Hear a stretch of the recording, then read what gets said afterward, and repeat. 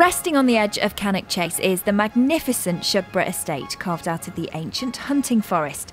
There are 900 acres of historic gardens and parkland to maintain. When it was built, there would have been an army of staff working for the Earls of Lichfield, but now it relies on an enthusiastic bunch of volunteers who love it. The skills that they bring to the job actually surprise us a lot of times. They come from all walks of life. Our youngest is 18, our oldest is 82. We're very, very lucky and they're absolutely critical to how we run the estate.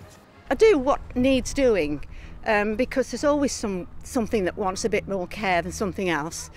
And so I just have if there's anything to do, I do it. I have a bit of time before I start my day job in the office, so I come out here and do a bit of volunteering in the garden because I absolutely love the place. Oh, it's great fun, yeah, it's great fun. Mixing with other volunteers and that's, you know, it's enjoyable. It's not just the gardens where they come in handy, they also work on the farm using traditional techniques. Meet Iglet the piglet. Back in 1805, when the farm was built, pigs like her would have been everywhere, but now she's not so common. By bringing back these breeds and specialist sheep to the estate, Melissa and her team have earned rare breed status. There's only 20 farm parks in the country that have this status, um, that are all working to preserve these rare breeds. Um, it's important to us um, to make sure we keep these historic animals here, um, as they would have been in 1805.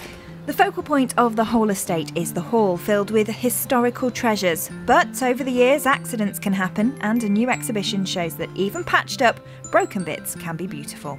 The idea came to me when we were opening Patrick Lichfield's private apartments and we went into our stores to help refurnish the apartments. And as we went through artifacts to start putting into these rooms, I did find some beautiful, beautiful things that couldn't go on to display for various reasons. Some of them have been locked away in our archive for decades, perhaps centuries, because they were broken.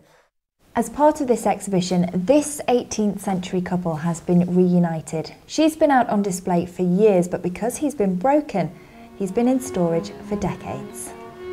The majestic cornerstone of Cannock Chase, Shugborough Hall, remains a proud reminder of the area's rich heritage.